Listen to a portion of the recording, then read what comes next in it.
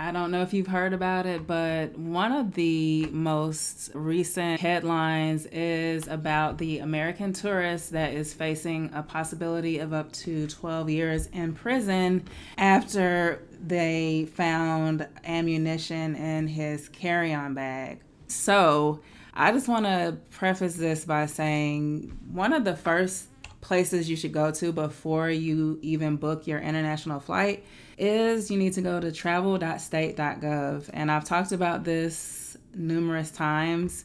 It will really save you a lot of stress. You can know what to expect.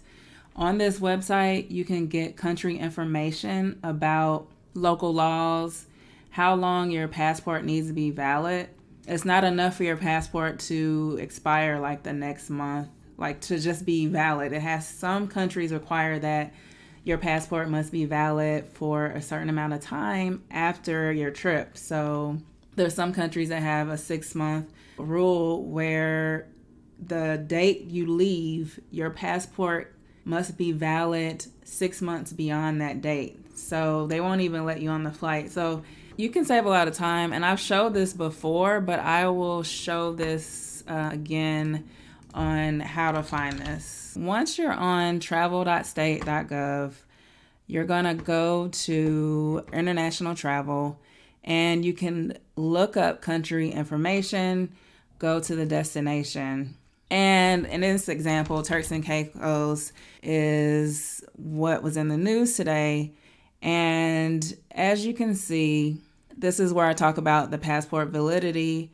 But let's go on down to local laws. And let me zoom in so you can see it.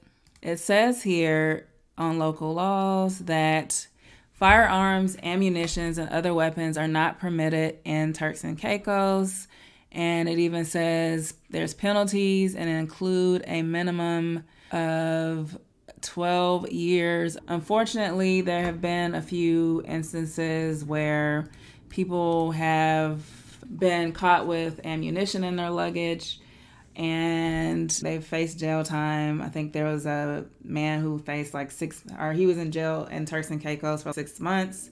And so now we have this case of an American couple. I believe the wife went to, was held for a little bit, but she was released. But the husband is definitely waiting to see what's going to happen with the uh, jail time. It's unfortunate that this happened, and I've seen a lot of people say that they're going to boycott Turks and Caicos because this father is facing 12 years in prison and can miss some time spending with his children. I don't know if a lot of people paid attention to this law. I've, it's gotten to the point where Turks and Caicos had to come out with a statement on Twitter that says, we urge all travelers to carefully check your luggage for stray ammunition or forgotten weapons before departing the U.S. Firearms, ammunition, stray, including stray bullets and other weapons, are not permitted in Turks and Caicos. I feel like if you own a gun, it's not like where you can travel, and it's not like when you're traveling in America, there's different rules. When you go out of the country, I feel like I would make sure I check everything especially if it's a bag I go hunting with, I would definitely triple check that. Like I'm always checking just even to make sure I don't have liquids in my carry-on, just making sure that's so I would definitely have triple checked, but at the same time, 12 years is crazy. I can't even imagine. but I was looking at Kenya again just to see what that was like because I don't I know that there are, of course, gun laws, but I don't travel with a gun. So I glossed over it when I was going to Kenya. But I looked at Kenya, and Kenya even has, if you have ammunition, seven years. Kenya even has a local law about being drunk in public. If you're caught being drunk in public or intoxicated or just rowdy due to alcohol, you could potentially get fined.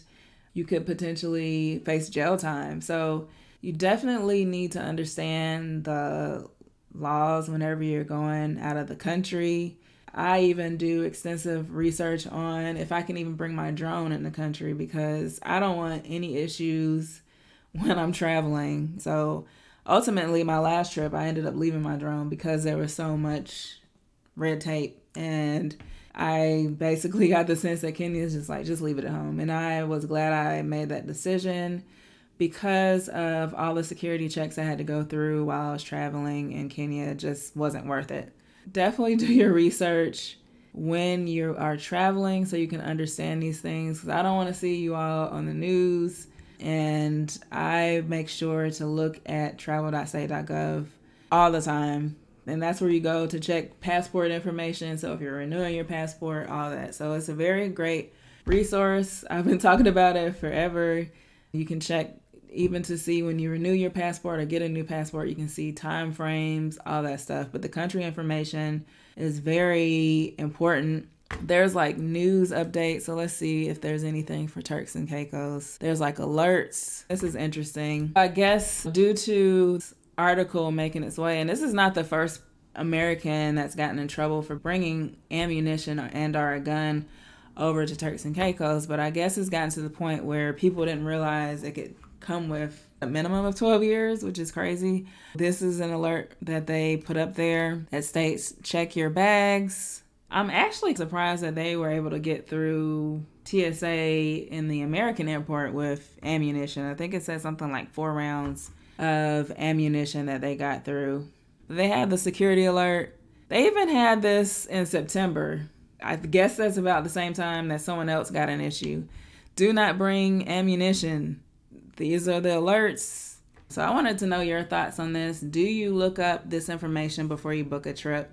Or do you check for local laws before you go? Make sure you're subscribed to my YouTube channel. I post videos all the time about travel tips. You can check out my latest videos on YouTube about my latest trip, which was to East Africa. And also, you can make so it's the same name on YouTube and Instagram and Facebook. Work hard, travel. So make sure you're subscribed. I really appreciate it. And thanks for watching. And be sure to like this wherever you're watching and share it out. I'll see you guys later. Bye.